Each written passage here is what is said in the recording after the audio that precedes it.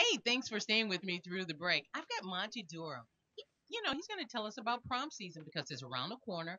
And also, those people are having summer weddings. They're not far off, so you can start planning today with one of the best planners on the planet, Monty Durham. Monty, welcome to the Valder Beebe Show. Good morning. How are you? I'm wonderful. It's a great time of year to talk uh, pretty dresses. You've got prom, you've got weddings. So, and you want to tell us also too how to help empower high school girls in our area, which I'm global, so this is like a global empowerment day, to say yes to the prom. Tell me what they can do. Right. Well, I, you know, it's such an important time in a woman's life. I mean, the, you know, prom. I mean, God, who cannot remember it? I vaguely remember mine, but uh, it is amazing. I mean, that dress is so important. As a matter of fact, it'll be one of the first dresses that are the most important to a young lady. And it truly does empower them. But we go a step further at discoverycommunications.com. We actually take those dresses not only to empower them, but we teach these girls how to do their makeup, how to do their hair, what's best suited for them. We show them how to walk and stand in their gown after they found the dress of their dreams. We tell them how to carry their clutch. They have a lot of one on ones with me all throughout the day, and questions are answered and examples are given. But we're also to watch these women take these dresses and then turn them into something glorious as they find prom perfection and work that red carpet at the end of the day. It's amazing. Well, it is amazing. Now, I got to ask you this. Uh, thank God I don't have any kids at that age. They're all finished with college. As a matter of fact, I have one graduating this week. Okay, so we're fine with that. But you know, is this Yay, a little? Yay, congratulations. But is it a little too much too soon, Monty? And I got to ask that. Yeah, no, I, I can see where you're coming from with that question, but you've got to remember it is such an exciting time in young people's lives. I mean, male and female, more so for the girls. I mean, this is a huge passage. You have finished 12 years of your education. You're getting ready to go on to college or the next stage of your life. It truly is time to celebrate. Now, you want to be mindful of that. You want your dress to be comfortable. You want your dress to be um, you know, who you are, represent exactly where you're going. If you're going on into the medicine field or if you're going, think about where you're going in the next stages of your life.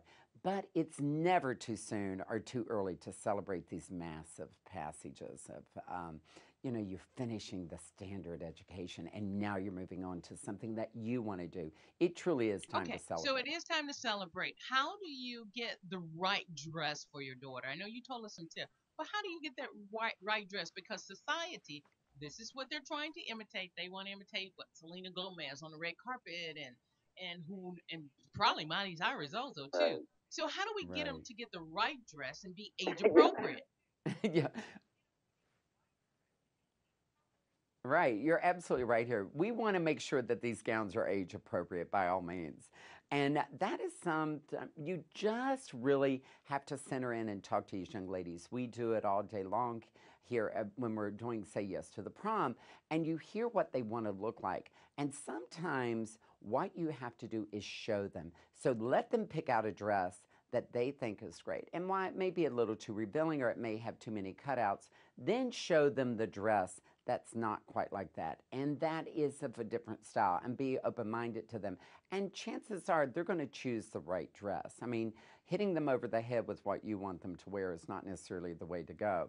We let them shop and try on all these different gowns. And when they're looking in the mirror, they truly do see it. And you just list the pros and cons of each gown. And eventually they're going to understand what these gowns are about and that it is prom. It is not the red carpet. This is your prom. And we just keep reinforcing I like that positive message. Monty, you do yes to the dress. You're now doing yes to the prom. Okay, so how can they find out more information? Say yes to the prom initiative so they can participate.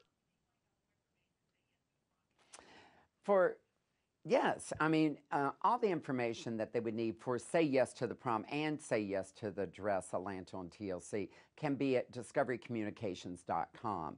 And if you want to see bridal trends and styles, be sure to tune in June the 6th when we air our season premiere on TLC, Say Yes to the Dress Atlanta, and you're going to see some very interesting fashions and some interesting family Okay, I gotta wrap well. up. I gotta ask you, what has given you the staying power for Yes to the Dress? You've been on it quite a while. We have, and we just signed up for season number eight. We're celebrating ourselves here in Atlanta, you know, and so we are very excited. I think everybody can relate to bridal, and let's face it, who doesn't love a bride? That's true, except the ex-wife now.